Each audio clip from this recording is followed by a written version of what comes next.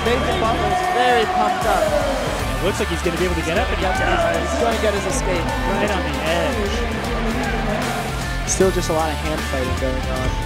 Both guys looking to get to their tie-ups, to get to their leg attacks. Butler needs one, 10 seconds, and he gets the escape. Wow. Wow, that's big. Now he's deep on the double. He finishes it. Two have already wrestled this year. There's a shot, and this could be trouble. Butler's deep, and they block the shot. He's got to get around to the back. He's got eight seconds. Eight seconds on the edge. And he's around to the back for two. Nathan Butler upsetting number four wrestler in the country, Tanner Hall.